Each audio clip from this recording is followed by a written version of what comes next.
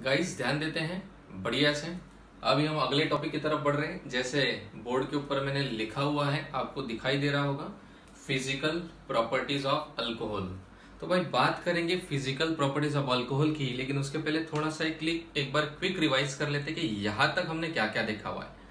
ये चैप्टर जब हमने शुरू किया था अल्कोहल फिनॉल इथर तो उसके अंदर सबसे पहले हमने अल्कोहल फिनॉल इथर तीनों के नोमेनक्लेचर लिए थे। फिर अल्कोहल, फिनॉल, इथर तीनों का क्लासिफिकेशन लिया था। फिर उसके बाद प्रीपरेशन ऑफ़ अल्कोहल हमने पढ़ा था, जिसके अंदर अल्कोहल बनाने की चार मेथड देखी थी, जिसके अंदर कई सब मेथड्स थे।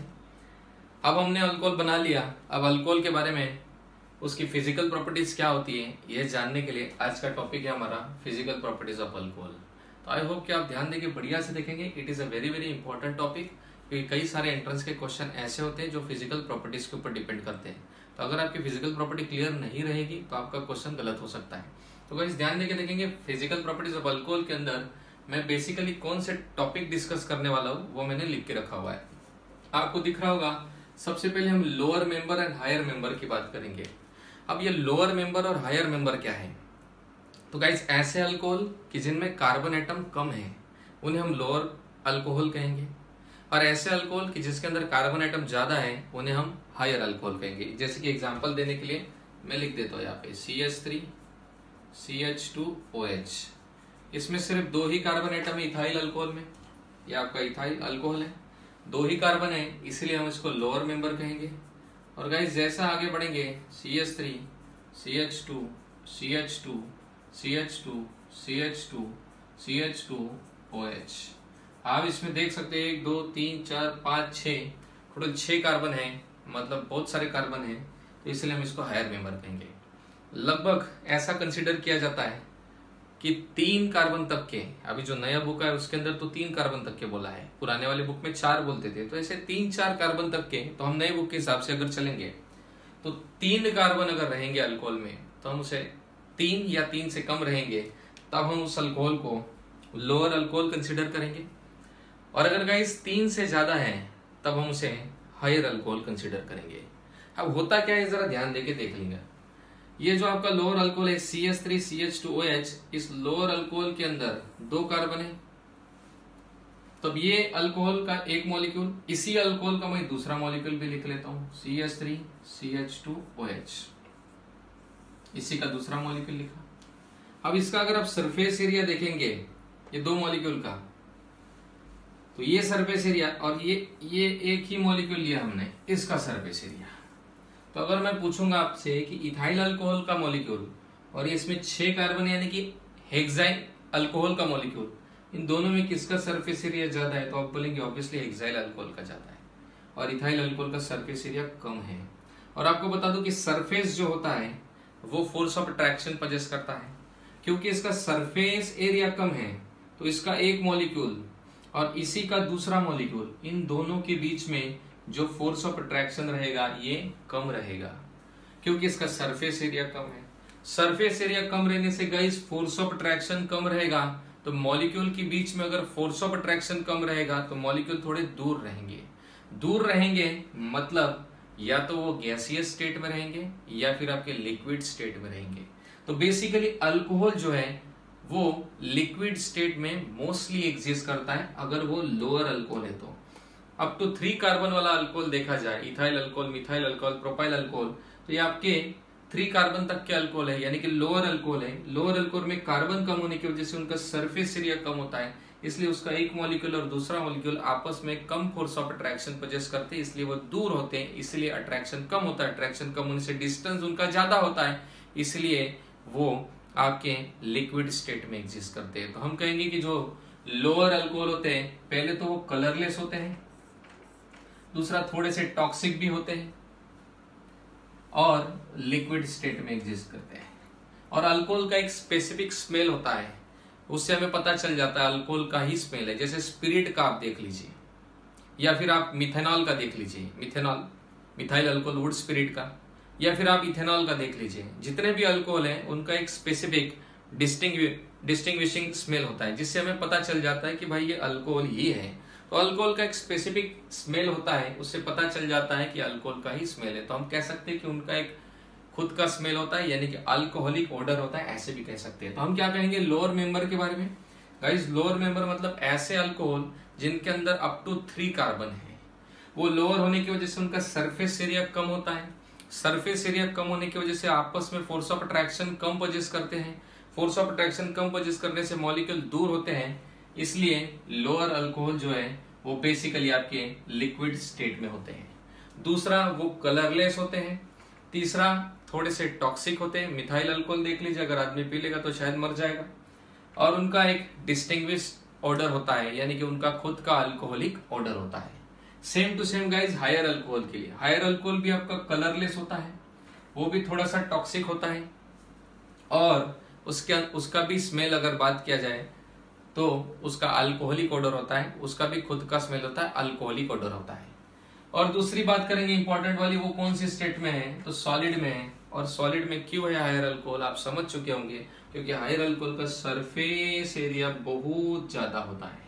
अब सरफेस एरिया ज़्यादा रहेगा तो इसका एक मॉलिक्यूल और गाइस इसका दूसरा मॉलिक्यूल आपस में ज़्यादा फोर्स ऑफ़ अट्रैक्शन पोजेस करेंगे और वो जितने ज़्यादा फोर्स ऑफ़ अट्रैक्शन आपस में पोजेस करेंगे, उतना ही ज़्यादा वो एक दूसरे के पास आएँगे।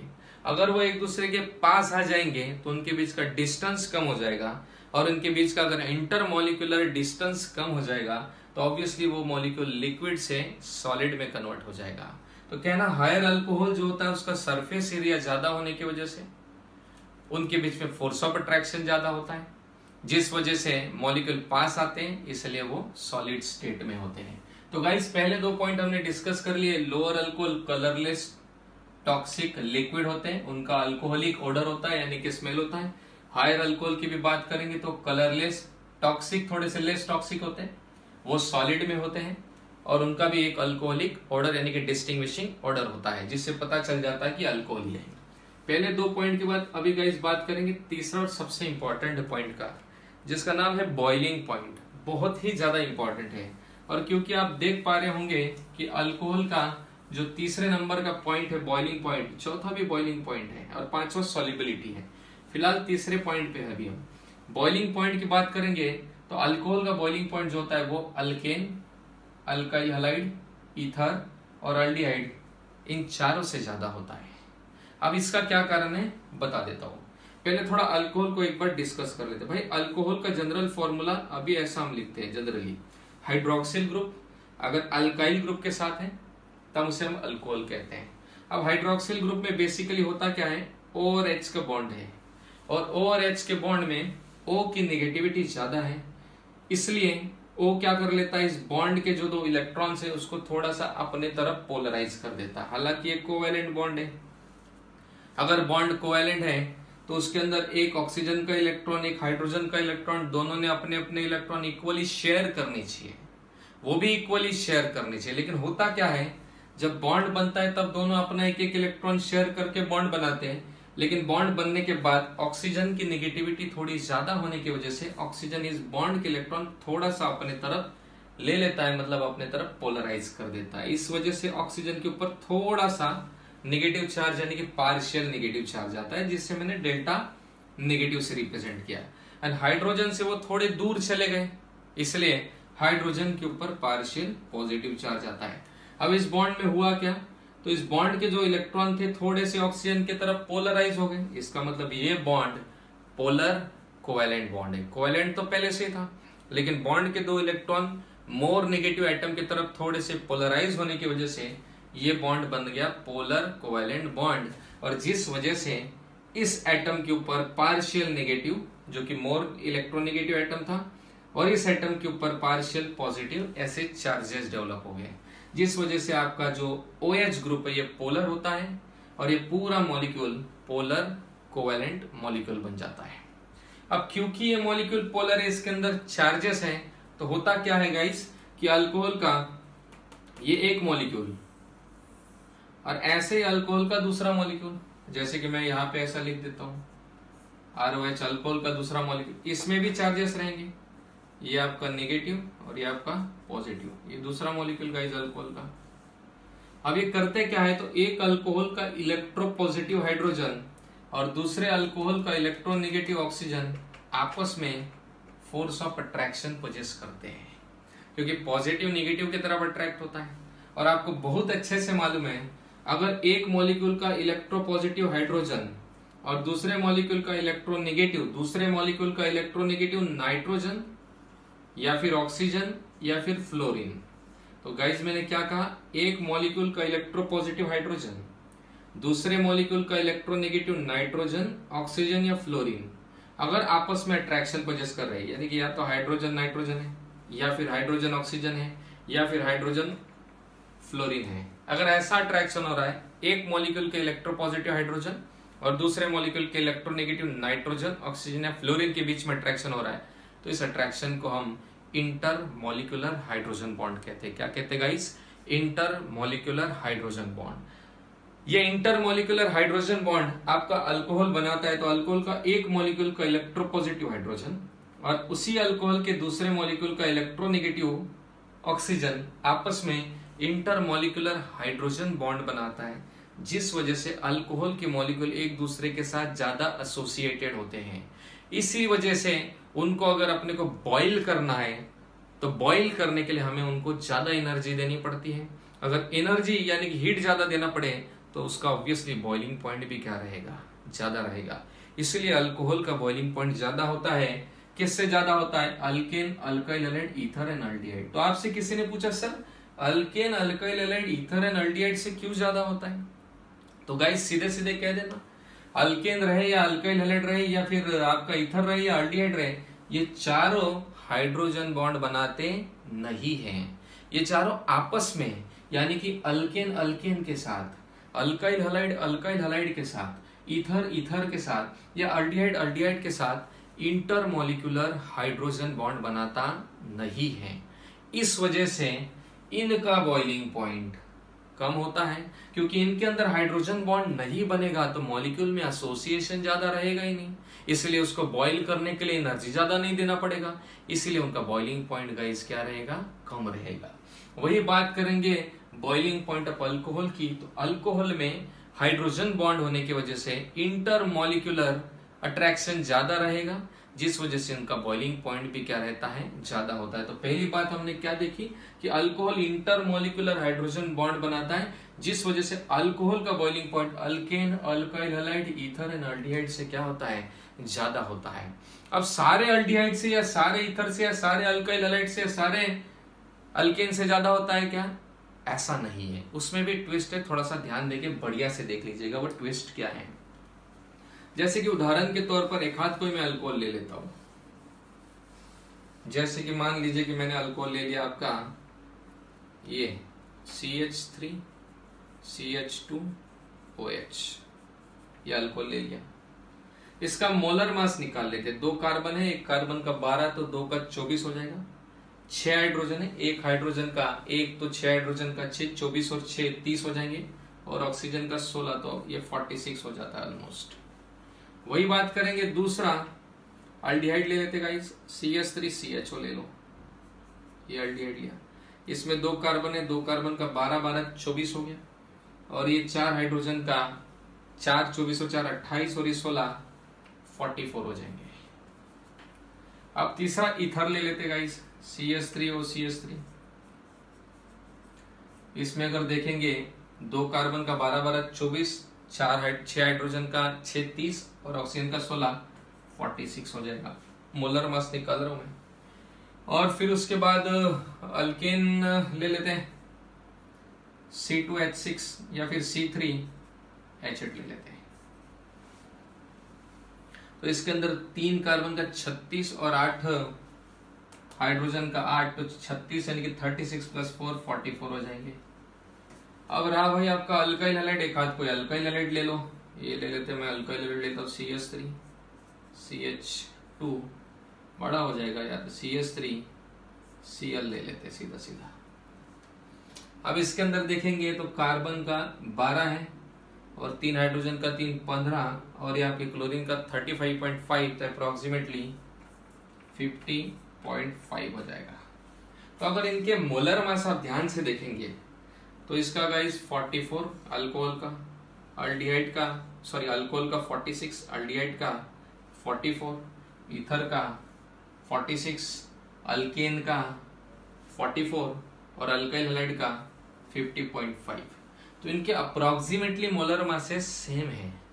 तो ऐसे अल्डिहाइड ईथर अल्केन या अल्काइल हेलाइड ऐसे अल्डिहाइड ईथर अल्केन या अल्काइल हेलाइड, जिनके मोलर मास अप्रोक्सीमेटली क्या है? सेम है या इक्वल टू अल्कोहल है। तो अल्कोहल का जितना मोलर मास है, अगर उन्हीं के इक्वल टू या उसी के आसपास अप्रोक्सीमेटली उसी के आसपास aldehyde alkyl halide alkane and ether का अगर मोलर मास है, तब अल्कोहल का बॉइलिंग पॉइंट उनसे ज़्यादा होता है। क्योंकि अल्कोहल हाइड्रोजन बॉन्ड बनाता है और बाकी हाइड्रोजन बॉन्ड बनाते नहीं है। अगर गाइज़ इसके अंदर आपने ऐसा कर दिया कि ये इथर ले लिया, और इथर में एक दस पंद्रह कार्बन ले लिया तो भाई उसका सरफेस एरिया ज़्यादा हो जाएगा तब।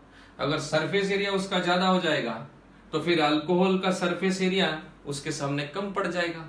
हालाँकि अल्कोहल हाइड्रोजन बॉन्ड बनाता है, वो हाइड्रोजन बॉन्ड बनाता नहीं, लेकिन हाइड्रोजन बॉन्ड से भी भारी अगर इसका सरफेस एरिया ही हो गया, मान लो तो इथर होने के बावजूद, इथर का hydrogen bond ether hydrogen bond न बनाने के बावजूद भी इथर का बॉइलिंग पॉइंट अल्कोहल से ज़्यादा रहेगा, अगर इथर में हमने बहुत सारे कार्बन लिए।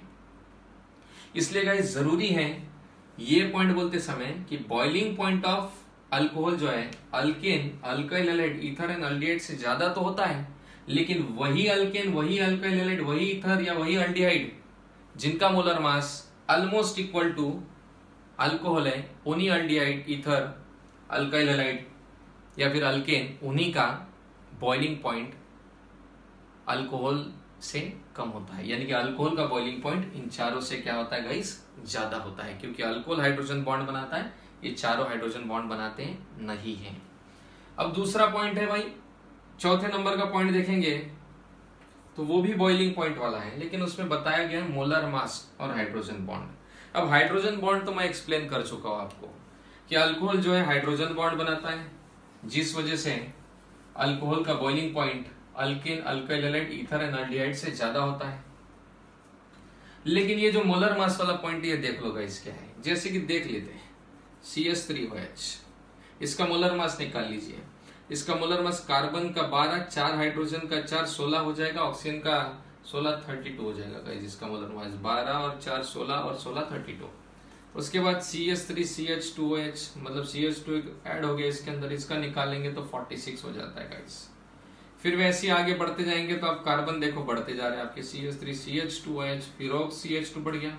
सी एच टू मतलब चौदह से बढ़ जाएगा सिक्सटी हो जाएगा। आप देख ले कि जैसे जैसे कार्बन बढ़ते जा रहे हैं, वैसे वैसे मोलर मास भी बढ़ते जा रहा है।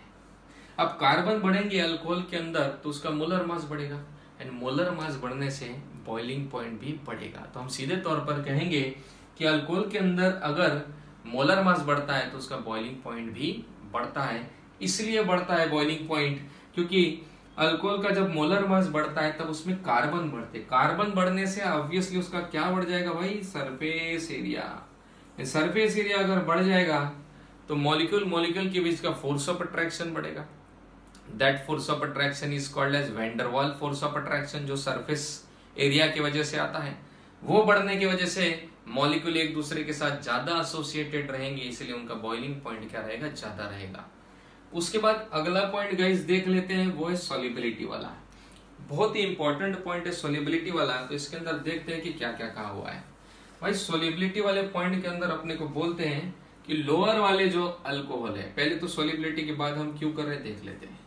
भाई, ये C S three O H ले लो अल्कोहल ले लो। अब आपको अच्छे से मालूम है, अल्कोहल जब हम पानी में मिलाते हैं, हमें मिलाना नहीं है। अगर मान लेते कि किसी ने अल्कोहल पानी के अंदर मिला तो आपको बताने की ज़रूरत नहीं कि पानी के अंदर घुल मिल जाता है। क्यों घुल मिल जाता है? क्योंकि पानी के साथ वो हाइड्रोजन बॉन्ड बनाता है। क्यों हाइड्रोजन बॉन्ड बनाता है? क्योंकि अल्कोहल खुद पोलर मॉलिक्यूल है। And water is also polar molecule तो लाइक डिजोल्व लाइक रूल के हिसाब से पोलर पोलर में डिजोल्व होता है और नॉन पोलर नॉन पोलर में डिजोल्व होता है। तो अल्कोहल आपका पोलर मॉलिक्यूल है, क्योंकि ओएच बॉन्ड पोलर है इसके अंदर। वाटर में भी एच में भी ओ एच बॉन्ड आता है, वो भी पोलर है। तो ये पोलर है वाटर भी पोलर है अल्कोहल भी पोलर वाटर भी पोलर तो लाइक डिजोल्व लाइक रोल के हिसाब से अल्कोहल वाटर में सोलिबल होता है, क्योंकि अल्कोहल वाटर के साथ हाइड्रोजन बॉन्ड बनाता है। तो गाइज़ अगर बात करेंगे C S three O H मैंने एक अल्कोहल ले लिया। एक ही कार्बन है मतलब लोअर अल्कोहल है। अगर वाटर के साथ ले लो तो आपको बताने की मुझे ज़रूरत नहीं है। कि वाटर के साथ कैसे हाइड्रोजन बॉन्ड बनाएगा? आपको अच्छे से मालूम है। वाटर के अंदर भी ये निगेटिव तो ये क्या रहेगा आपका? पॉजिटिव क्योंकि वो पोलर बॉन्ड इसके ऊपर पार्शियल निगेटिव पार्शियल पॉजिटिव इधर भी ये पार्शियल निगेटिव पार्शियल पॉजिटिव तो मान लीजिए कि अल्कोहल का इलेक्ट्रोनिगेटिव ऑक्सीजन और वाटर का इलेक्ट्रो पॉजिटिव हाइड्रोजन आपस में अट्रैक्शन पजेस करके हाइड्रोजन बॉन्ड बना देंगे। हाइड्रोजन बॉन्ड अगर बन गया इसका मतलब वो उसको पसंद कर रहा है, यानी कि ये इसके अंदर सोल्यूबल हो जाएगा। तो ऐसे लिक्विड जो एक दूसरे के साथ कोई भी फोर्स ऑफ़ अट्रैक्शन पजेस करते हैं मोस्टली हाइड्रोजन बॉन्ड तो वो एक दूसरे के अंदर सोल्यूबल होते हैं। अगर नहीं कर रहे हाइड्रोजन बॉन्ड तो सोल्यूबल नहीं रहेंगे। तो जैसे कि आपका देखा जाए, किसी ने पूछा कि भाई अल्कोहल पानी में क्यों सोल्यूबल होता है? तो बोल देना कि अल्कोहल जो है पानी के साथ हाइड्रोजन बॉन्ड बनाता है, इसलिए अल्कोहल पानी के अंदर सोल्यूबल हो जाता है। तो बात करेंगे सोल्यूबिलिटी की लेकिन उसके पहले मैंने आपको पॉइंट बता दिया पोलर वाला वो ये था कि अल्कोहल पोलर मॉलिक्यूल होता है और वाटर भी पोलर होता है, इसलिए अल्कोहल पानी के अंदर सोलिबल होता है। अब दूसरा पॉइंट मैंने यहाँ साइज़ लिखा हुआ है, ये भी बता देता हूँ। अब देखो, है ऐसा कि अगर आप लिखेंगे alcohol C H three C H two पहले एक ही कार्बन वाला ले लेते भाई। फिर उसके बाद दो कार्बन वाला C H three C H two H फिर गाइज़ इसके बाद तीन कार्बन वाला ले लेंगे फिर उसके बाद चार कार्बन वाला ले लेंगे। C H three C H two C H two C H two H फिर उसके बाद गाइस पाँच कार्बन वाला ले लेंगे। C H three C H two C H two C H two ऐसे करके कार्बन बढ़ते जाएँगे। अब ध्यान से देखना भाई अल्कोहल के अंदर दो चीज़ें होती है। एक, ये वाला पार्ट ये पार्ट ओ OH जिनके अंदर ऑक्सीजन पे निगेटिव हाइड्रोजन के ऊपर पॉजिटिव तो ये पार्ट के अंदर चार्जेस हैं, यानी कि इलेक्ट्रो निगेटिव ऑक्सीजन और इलेक्ट्रो पॉजिटिव हाइड्रोजन है, ये पोलर पार्ट है. और पोलर पार्ट ये है वाटर भी पोलर है. तो ये पोलर पार्ट वाटर को पसंद करता है. वाटर इस पोलर पार्ट को पसंद करते हैं, इसलिए एक दूसरे के अंदर सोलिबल होते हैं. और ये वाटर को पसंद करता है, इसलिए इस वाले पार्ट को मैं हाइड्रोफिलिक कहूँगा कि हाइड्रोफोबिक ऑब्वियसली गाइस पसंद करता है तो हाइड्रोफिलिक पार्ट वाला. और इधर वाला पार्ट जो है, ये सी एस थ्री यानी कि अल्काइल ग्रुप ये नॉन पोलर है, क्योंकि कार्बन हाइड्रोजन का बॉन्ड नॉन पोलर होता है वाटर पोलर है. तो इसलिए ये पानी के अंदर सोलेबल होगा नहीं. इसलिए पानी इसको पसंद करेगा नहीं, ये पानी को पसंद करेगा नहीं. तो होता क्या है गई जब हमारा लोअर अल्कोहल है मतलब ऐसा अल्कोहल जिसमें अप टू थ्री कार्बन है अगर आप इसके अंदर देखेंगे एक कार्बन, दो कार्बन, तीन कार्बन तो इसके अंदर अप टू थ्री कार्बन है। तो अप टू थ्री कार्बन वाला जो हमारा अल्कोहल होता है, उसमें ये जो हमारा हाइड्रोफोबिक पार्ट है मतलब इधर वाला, ये अल्काइल ग्रुप ये अल्काइल ग्रुप ये अल्काइल ग्रुप ये पानी को पसंद नहीं करता और पानी इसको पसंद नहीं करता, क्योंकि पानी के साथ हाइड्रोजन बॉन्ड नहीं बनाता हाइड्रोजन बॉन्ड और पानी इसके साथ हाइड्रोजन बॉन्ड नहीं बनाता। तो अप टू थ्री कार्बन वाले जो हमारे अल्कोहल होते हैं लोअर अल्कोहल तो लोअर अल्कोहल के अंदर ये वाला जो पार्ट है, हमारा हाइड्रोफोबिक पार्ट ये हाइड्रोफोबिक पार्ट उतना बड़ा होता नहीं है. इसलिए हाइड्रोफोबिक पार्ट यानी कि ये नॉन पोलर पार्ट जो इतना बड़ा नहीं होता है, इसलिए तीन कार्बन तक के वाला अल्कोहल अच्छा खासा पानी के अंदर सोलेबल हो जाता है. लेकिन जैसे हाइड्रोफोबिक पार्ट के अंदर चार कार्बन पाँच कार्बन छ कार्बन, सात कार्बन एंड सो ऑन ऐसे ऐसे कार्बन बढ़ते जाएँगे। तो हाइड्रोफोबिक पार्ट इस ओ OH के सामने, यानी कि हाइड्रोफिलिक पार्ट के सामने बड़ा हो जाता है। और ये हाइड्रोफिलिक पार्ट छोटा हो जाता है, यानी कि ग्रुप छोटा हो जाता है उसके सामने। तो जैसे जैसे कार्बन पड़ेंगे तो कार्बन के बढ़ने की वजह से आपका हाइड्रोफोबिक पार्ट बड़ा होते जाएगा।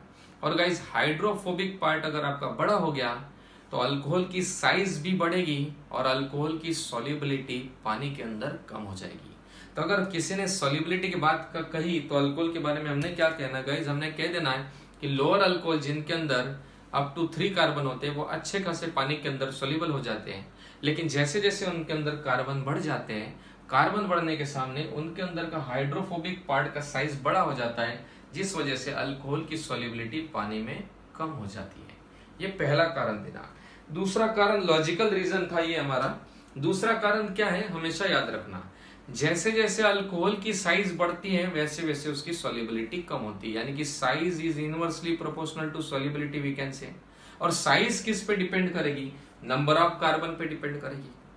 तो देखो मैं क्या कहूँगा। मैं पहली बात तो कहूँगा, जैसे नंबर ऑफ़ कार्बन बढ़ेंगे, वैसे वैसे अल्कोहल की क्या बढ़ेगी भाई?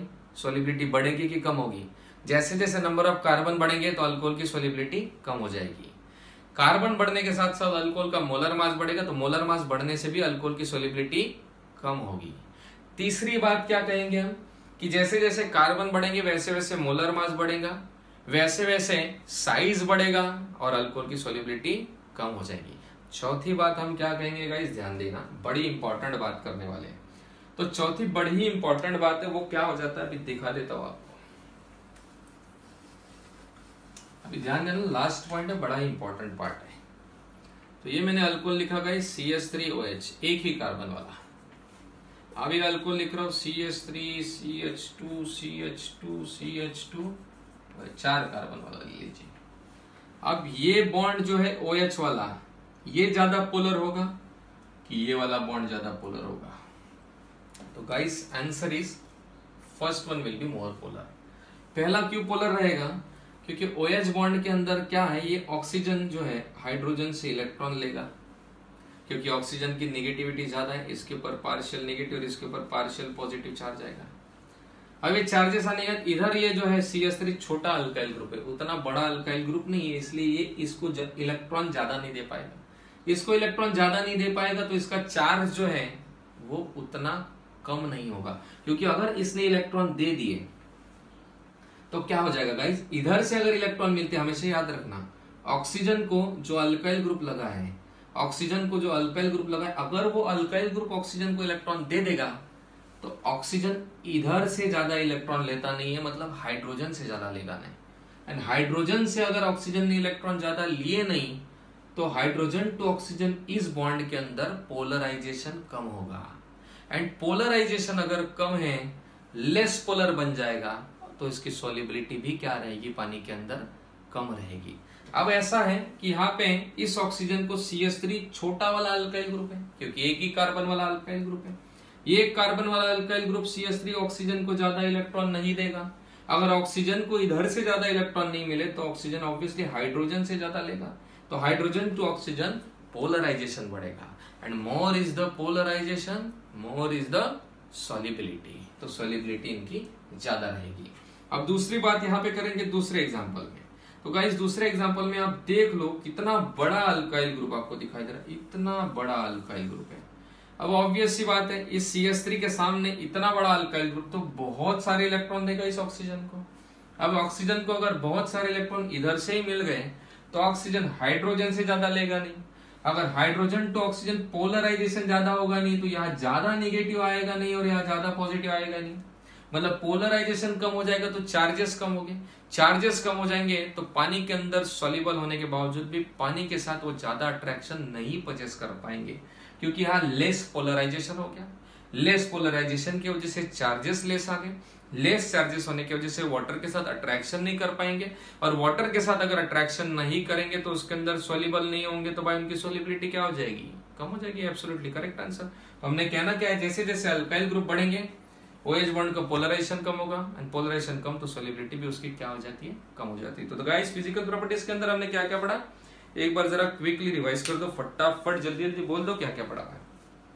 सबसे पहले हमने फ़िज़िकल प्रॉपर्टीज़ के अंदर कहा था कि जो लोअर मेंबर होते हैं, यानी कि अप टू थ्री कार्बन वाले अल्कोहल होते हैं, वो कलरलेस लिक्विड होते हैं, उसके बाद थोड़े से टॉक्सिक होते हैं और उनका एक अल्कोहलिक ऑर्डर होता है डिस्टिंग स्मेल होता है, जिससे पता चल जाता है पर्टिकुलरली अल्कोहल ये अल्कोहल का ही है।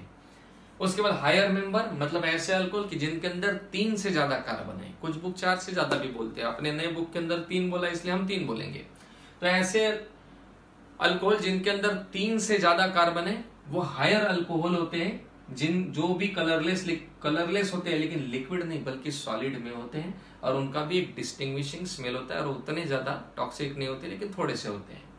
दूसरी बात करेंगे कि सॉलिड क्यों होते हैं और लोअर वाले लिक्विड क्यों होते हैं? हमने पहले बात करा है लोअर वालों के अंदर कार्बन कम होने से सरफेस एरिया कम होता है, जिस वजह से वो लिक्विड स्टेट में होते हैं। हायर वालों के अंदर कार्बन ज़्यादा होने की वजह से सरफेस एरिया ज़्यादा होता है, जिस वजह से वो सॉलिड स्टेट में चले जाते हैं। सरफेस एरिया से क्या होता है? हमने डिस्कस किया था लोअर वालों का सरफेस एरिया कम होने से वो एक दूसरे के साथ फोर्स ऑफ़ अट्रैक्शन कम पजेस करते हैं। उनका फोर्स ऑफ़ अट्रैक्शन कम होने की वजह से उनको अलग करने के लिए हमें एनर्जी ज़्यादा देनी पड़ती नहीं है। वही हायर वालों की बात करेंगे तो हायर वालों का सरफेस एरिया बहुत बड़ा होता है, इसलिए हायर वाले मॉलिक्यूल आपस में फोर्स ऑफ़ अट्रैक्शन ज़्यादा पोजेस करते हैं, इसीलिए उनको अलग करने के लिए बॉइल करने के लिए एनर्जी ज़्यादा देनी पड़ती है। और साथ ही में फोर्स ऑफ़ अट्रैक्शन ज़्यादा होने की वजह से वो बहुत पास आ जाते हैं, इसलिए वो सॉलिड स्टेट में होते हैं। और लोअर वाले फोर्स ऑफ़ अट्रैक्शन कम होने से थोड़े दूर होते हैं, इसलिए वो लिक्विड स्टेट में होते हैं। अगला बात किया था हमने बॉइलिंग पॉइंट का, और हमने कहा था कि अल्कोहल का boiling point alkane alkyl halide ether और अल्डिहाइड से ज़्यादा होती है, क्योंकि ये चारों हाइड्रोजन बॉन्ड बनाते नहीं है, और अल्कोहल जो हाइड्रोजन बॉन्ड बनाता है, और जो मॉलिक्यूल हाइड्रोजन बॉन्ड बनाता है, उन मॉलिक्यूल में एसोसिएशन ज़्यादा होने की वजह से उनको बॉइल करने के लिए एनर्जी ज़्यादा देनी पड़ती है, इसलिए अल्कोहल का बॉइलिंग पॉइंट ज़्यादा होता है, और alkane alkyl halide ether aldehyde का बॉइलिंग पॉइंट कम होता है। लेकिन अगर आप अल्कोहल के बॉइलिंग पॉइंट को अल्केन हेलाइड ईथर या अल्डिहाइड के बॉइलिंग पॉइंट के साथ कंपेयर कर रहे हो तो ऐसा ही अल्कोहल लेना और ऐसा ही अल्केन हेलाइड ईथर या अल्डिहाइड लेना कि जिनके मोलिकुलर मास ऑलमोस्ट क्या रहेंगे? सेम रहेंगे। उसके बाद गाइस अगला पॉइंट हमने बोला था, चौथे नंबर वाला। मोल, वो है बॉइलिंग पॉइंट मोलर मास और हाइड्रोजन बॉन्ड पे कैसे डिपेंड करता है। हाइड्रोजन बॉन्ड पे कैसे डिपेंड करता है, अभी मैंने बताया, ऐसे मॉलिक्यूल जो हाइड्रोजन बॉन्ड बनाते हैं, उनके बीच में फोर्स ऑफ़ अट्रैक्शन ज़्यादा होता है इस वजह से उनको अलग करने के लिए एनर्जी ज़्यादा देनी पड़ती है। और हाइड्रोजन बॉन्ड क्या आता है, मैंने बताया था, अगर एक मॉलिक्यूल का इलेक्ट्रोपॉजिटिव हाइड्रोजन और दूसरे मॉलिक्यूल का इलेक्ट्रोनेगेटिव नाइट्रोजन ऑक्सीजन या फिर फ्लोरीन आपस में अगर अट्रैक्शन पजेस कर रहे हैं तो इस अट्रैक्शन को हम इंटर मॉलिक्यूलर हाइड्रोजन बॉन्ड कहते हैं। उसके बाद मोलर मास के बारे में हमने कहा था, हमने कहा था लोअर अल्कोहल है तो कार्बन कम रहेंगे। जैसे जैसे अल्कोहल में कार्बन बढ़ते जाएँगे, जैसे एक कार्बन है, फिर दो कार्बन है, तीन कार्बन है, चार कार्बन है तो कार्बन बढ़ने से उसका मोलर मास भी बढ़ेगा। और कार्बन बढ़ने से मोलर मास बढ़ रहा है, साथ में सरफेस एरिया बढ़ेगा, जिस वजह से मॉलिक्यूल मॉलिक्यूल के बीच में फोर्स ऑफ़ अट्रैक्शन बढ़ेगा, क्योंकि सरफेस जो है, वो van der Waals force of attraction possess करता है। तो जैसे जैसे अल्कोहल के अंदर कार्बन बढ़ते जाएँगे, कार्बन बढ़ने की वजह से सरफेस एरिया बढ़ेगा, मोलर मास बढ़ेगा जिस वजह से मॉलिक्यूल के बीच में अट्रैक्शन बढ़ेगा और इसलिए उनका बॉइलिंग पॉइंट भी बढ़ेगा। तो मोलर मास के बढ़ने से बॉइलिंग पॉइंट बढ़ता है। सोलिबिलिटी की लास्ट बात की थी हमने। हमने कहा था अल्कोहल पोलर मॉलिक्यूल है। अल्कोहल अगर खुद पोलर मॉलिक्यूल है तो इसको भी पोलर सॉल्वेंट पसंद है, क्योंकि लाइक डिजॉल्व लाइक रूल के हिसाब से पोलर पोलर में सोलिबल होता है। अल्कोहल क्यों पोलर है? क्योंकि अल्कोहल का जो ओ OH बॉन्ड है इसमें ऑक्सीजन की निगेटिविटी ज़्यादा है ऑक्सीजन हाइड्रोजन से इलेक्ट्रॉन पोलराइज करता है, इसलिए OH बॉन्ड आपका पोलर बॉन्ड है। तो अल्कोहल पूरा पोलर मोलिक्यूल बन जाता है।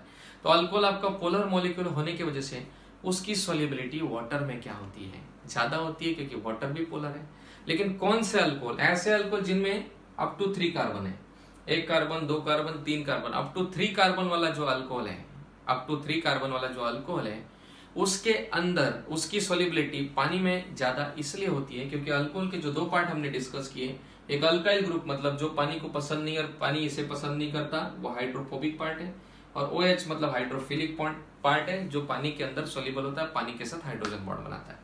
अगर लोअर अल्कोहल है अप टू थ्री कार्बन वाला अप टू थ्री कार्बन वाला अगर अल्कोहल है तो उसमें हाइड्रोफोबिक हाइड्रोफोबिक पार्ट यानी कि अल्काइल ग्रुप छोटा होता है। इसलिए उसकी सोलिबिलिटी पानी में ज़्यादा होती है। लेकिन जैसे चार, पाँच, छह, सात, आठ कार्बन आने लगते हैं हायर अल्कोहल होता है, उसकी सोलिबिलिटी पानी में कम होने लगती है, क्योंकि हाइड्रोफोबिक पार्ट बढ़ेगा तो पानी उसको पसंद करेगा नहीं, अपने अंदर सोलिबल करेगा नहीं। तो जैसे जैसे साइज़ बढ़ते जाती है अल्काइल ग्रुप की अल्कोहल में, वैसे वैसे अल्कोहल की सोलिबिलिटी क्या होती है गाइस कम होती है। और इसी का कारण हमने बताया था कि जब लोअर अल्कोहल है तो छोटा वाला अल्काइल ग्रुप रहेगा तो ओएच बॉन्ड में पोलराइजेशन ज़्यादा होता है। More is the polarisation, more is the solubility in water. और जैसे कार्बन बढ़ेंगे गाइस तो कार्बन बढ़ने से ओएच बॉन्ड का पोलराइजेशन कम हो जाएगा। पोलराइजेशन अगर कम हो जाएगा, क्यों कम होगा? क्योंकि इस ऑक्सीजन को इधर से ही ज़्यादा इलेक्ट्रॉन मिलेंगे तो हाइड्रोजन से वो ज़्यादा लेगा नहीं। तो ओएच बॉन्ड का पोलराइजेशन कम हो जाएगा, इस वजह से सोलिबिलिटी भी क्या हो जाएगी? कम हो जाएगी। तो गाइज़ ये थी हमारी फ़िज़िकल प्रॉपर्टीज़ ऑफ़ अल्कोहल इसके बाद हम रिएक्शंस ऑफ़ अल्कोहल देखेंगे। क्योंकि हमने अल्कोहल बना लिया प्रिपरेशन ऑफ़ अल्कोहल में। फ़िज़िकल प्रॉपर्टीज़ में अल्कोहल के बारे में जानकारी ले ली। क्या होता है, कैसे होता है। अभी हम अल्कोहल किसी किसके साथ रिएक्ट हो सकता है, ये हम अगले वीडियो में देखेंगे। अगला हमारा टॉपिक रहेगा रिएक्शंस ऑफ़ अल्कोहल जिसके अंदर अलग अलग कंपाउंड्स के साथ आप अल्कोहल की रिएक्शन डिस्कस करेंगे। तो आज के लिए गाइस इतना ही। Thank you so much